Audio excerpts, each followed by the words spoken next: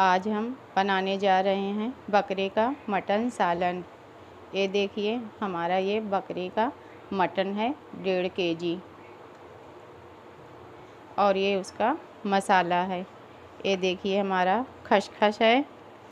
ये धनिया है, ये लाल मिर्च है, ये ज़ीरा है, और ये लौंग है, ये बड़ी इलायची है, और ये गोल मिर्च है, ये हरी इलायची है और ये छोटा सा जायफल है और ये थोड़ा सा दालचीनी है। अब हम इसको सब हल्का भूनेंगे, फिर पीस लेंगे। और ये हमारा हरा धनिया है, लहसुन है, अदरक है, ये नारियल है। इसको भी हम, इसको पीसने के बाद उसी में डालकर इसको एक साथ में पीस लेंगे। फिर हम इसका मसाला भूनेंगे।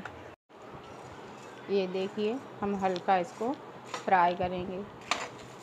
बस हल्की सी खुशबू आने तक भून लेंगे इसको हम। सीलो फ्लेम पर।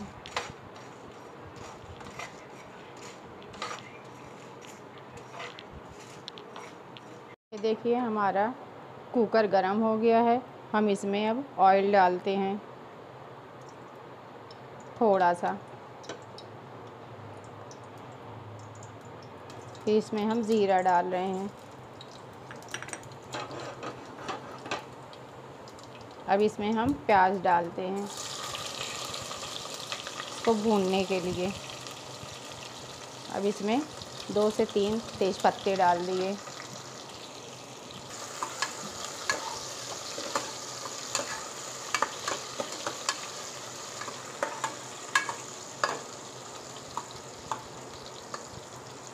हल्का सॉफ्ट होने तक भूनेंगे।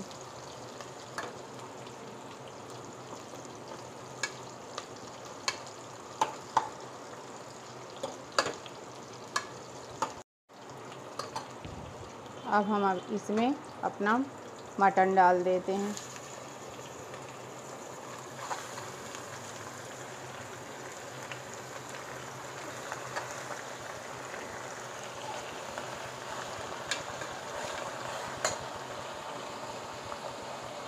अब इसमें हम प्याज डाल देते हैं।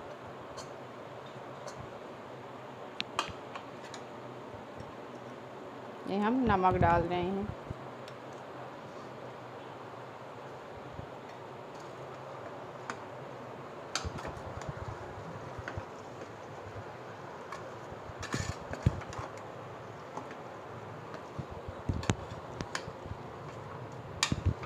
लगा देते हैं।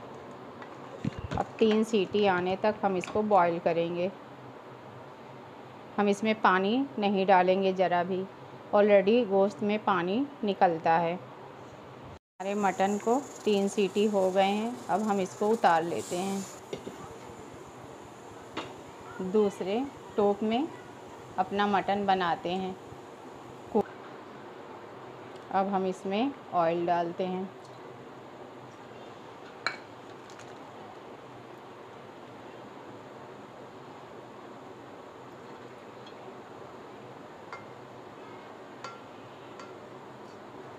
हमारा तेल गरम हो चुका है।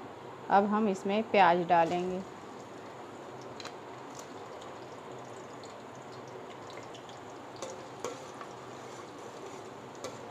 इसको हम पीस कर रेडी कर लिए हैं। इसको हम एक साथ में ही पीस लिए हैं। कोतमीर लहसुन सब साथ में पीसे हुए हैं।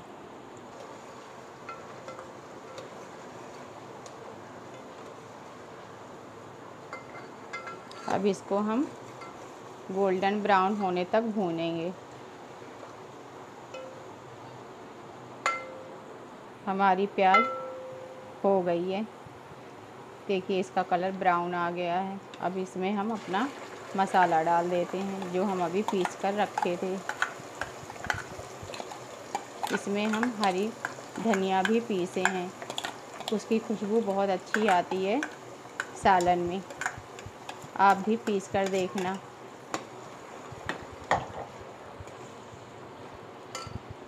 अब थोड़ी सी इसमें हम हल्दी डालेंगे।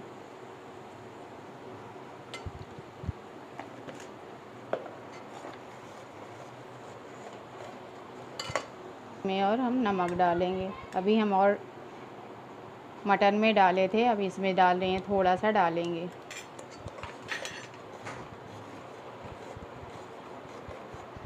अब हम मसाले को बंद करके रख देते हैं। दस मिनट के लिए चलाते रहेंगे इसमें बीच बीच में, नहीं तो हमारा मसाला जल जाएगा। हम इसमें हरी मिर्च डाल दिए, तीन से चार। अब इसमें ये हमारा मसाला हो चुका है। अब हम इसमें मटन डालेंगे। ये देखिए, हमारा मटन अच्छा सा गल गया है। ये देखिए। अब हम इसमें मसाले में डाल देते हैं अपने मटन को।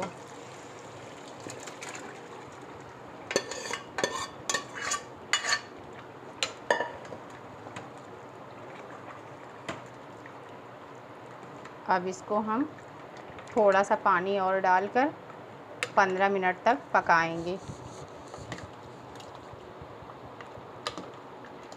बस पंद्रह मिनट बनाएँगे, फिर हमारी ग्रेवी तैयार हो जाएगी। ये देखिए। हम अपने ग्रेवी में इतना पानी डाले हैं। अब हम इसको दस मिनट पकाएँगे। ये हमारी ग्रेवी बनकर तैयार हो गई है। अब इसमें हम कोतमीर थोड़ी सी और डाल देंगे। ये देखिए, हम आपको निकाल कर दिखाते हैं। इसको थोड़ा गार्निश करते हैं। अब हमारी ग्रेवी बनकर रेडी हो गई है। अच्छी लगी हो तो सब्सक्राइब, लाइक, शेयर ज़रूर करिएगा। नेक्स्ट वीडियो में हम फिर मिलेंगे। अल्लाह हाफिज़।